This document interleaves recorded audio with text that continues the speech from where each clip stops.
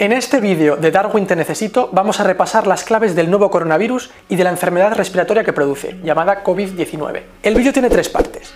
En la primera parte vamos a poner la lupa en la estructura del virus, para entender su biología, cómo se reproduce y por qué nos hace enfermar. En la segunda parte veremos cómo se propaga el virus entre la población. Todo esto nos va a ayudar a entender mejor la parte más importante del vídeo, la tercera, donde explicaré las medidas para evitar el contagio. Ya os adelanto que estas medidas se resumen en dos. Quedarse en casa y lavarse mucho las manos con agua y jabón. Por el camino voy a ir desmintiendo algunos bulos que circulan sobre el virus y responderé a las preguntas más frecuentes. Vamos a ello. El coronavirus es un parásito obligado. Esto significa que solo puede reproducirse dentro de otro organismo, en este caso de los humanos. Esta es la estructura de un virus. Tiene tres componentes principales. Primero, su material genético, una molécula de ARN, que es como su manual de instrucciones. Está rodeado por una envoltura que lo protege, hecha de lípidos, que son moléculas parecidas a la grasa o el aceite. Un dato importante es que esta envoltura se disuelve al entrar en contacto con el jabón de toda la vida. Y por último, el virus tiene unas proteínas superficiales que salen de la envoltura como pequeños pinchos. Estas proteínas permiten al virus reconocer las células que puede atacar son como la llave a una cerradura. El virus es diminuto, mucho más pequeño que una célula humana. Cuando entra en nuestro organismo, utiliza las proteínas superficiales para detectar y engancharse a una de nuestras células. Entonces, su membrana se fusiona con la membrana de nuestra célula y el virus vierte su contenido genético, su ARN, al interior.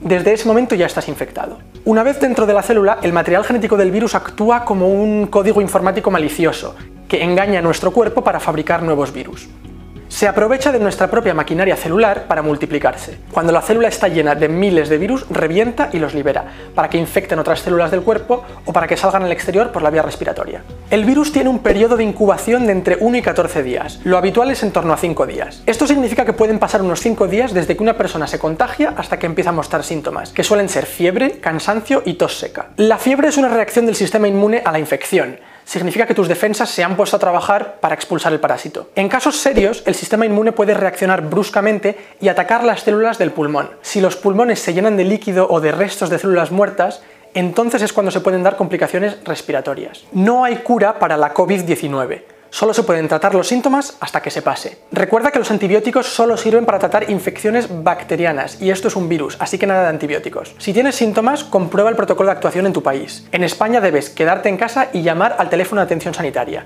Ve al hospital si estás grave.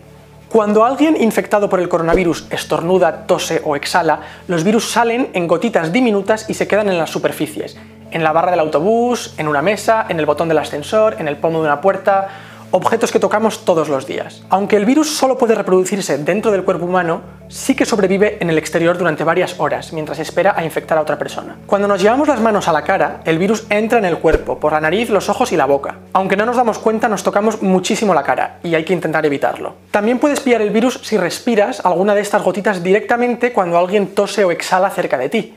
Por eso hay que mantenerse a más de un metro de los pacientes enfermos. Las mascarillas son muy útiles para no esparcir la tos y los estornudos y no contagiar a otras personas, pero no son tan útiles para evitar el contagio propio, porque no te aíslan toda la cara y es muy fácil tocarlas sin querer. La Organización Mundial de la Salud solo recomienda usar mascarillas si sospechas que estás enfermo o tienes que cuidar de un enfermo. Si no, déjalas para quienes realmente las necesitan el personal sanitario y quienes tienen enfermedades respiratorias o sistemas inmunes comprometidos. Otro apunte sobre el contagio. Los niños sí pueden adquirir y contagiar el coronavirus. Al principio de la epidemia parecía que no, porque muchos menores desarrollan síntomas muy leves que pasan desapercibidos. Pero aunque alguien tenga síntomas muy leves, por ejemplo, si solo tiene una tos suave y no se encuentra mal, puede seguir siendo una fuente importante de contagio. El coronavirus se ha propagado rapidísimo por el mundo porque no es muy letal consigue que cada persona enferma pase el virus a varias otras personas antes de curarse. Los científicos miden la capacidad de infección de un virus con algo llamado el número básico de reproducción, o R sub 0. Nosotros podemos llamarlo la tasa de contagio. Básicamente es el número promedio de personas que contagiará un individuo infectado antes de recuperarse. Para el nuevo coronavirus se estima un rango de entre 1,5 y 3. Quiere decir que cada persona infectada puede contagiar a otras dos o tres personas. Eso es un promedio, pero también hay supercontagiadores que solitos pueden pasar el virus a 10 o 15 personas. Una clave de la tasa de contagio es que el número no es fijo, inamovible y característico de cada tipo de virus. Su valor depende de la actitud de las personas. Es decir, nosotros podemos reducir esta cifra con medidas de contención o de mitigación. Si logramos disminuir la tasa de contagio hasta un valor cercano a 1, dejarán de acelerar los contagios. Para frenar completamente la propagación del virus, habría que disminuir la tasa de contagio por debajo de 1. Hay que prestar atención a todas las recomendaciones y normas de las autoridades sanitarias.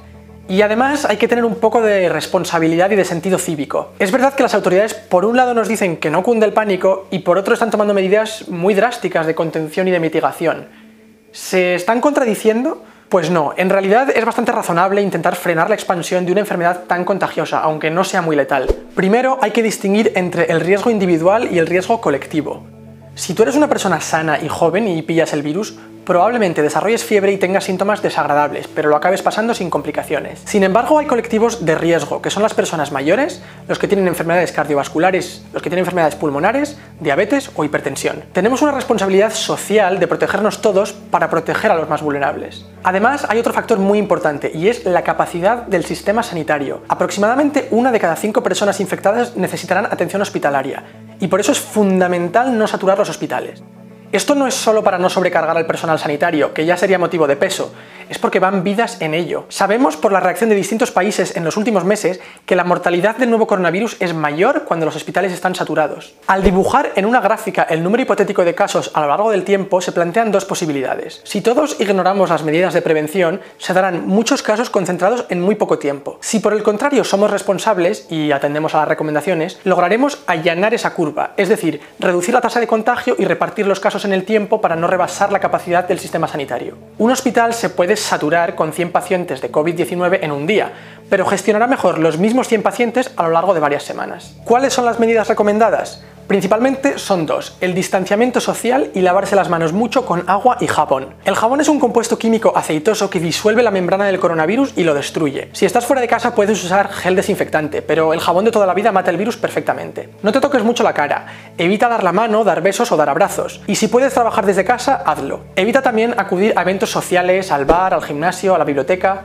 Básicamente quédate en casa a menos que tengas que salir por buen motivo. Y recuerda, aunque no corras un riesgo muy grave a tu salud personal, todos tenemos la responsabilidad de frenar la curva de propagación. Por favor, comparte este vídeo para combatir los bulos y la desinformación sobre este virus, porque tenemos la responsabilidad colectiva de frenar los contagios. Si tienes alguna duda sobre el nuevo coronavirus, acude a las fuentes oficiales, como la página web de la Organización Mundial de la Salud.